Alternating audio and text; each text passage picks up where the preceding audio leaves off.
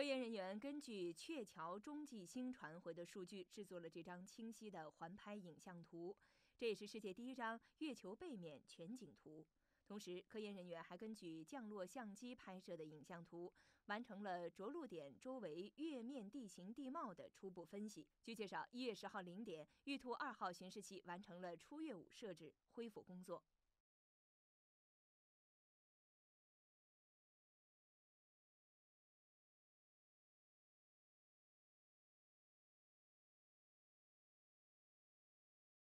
七千五百牛发动机开机，动力下降开始。长城报告着陆器 F 一。是是那个拍。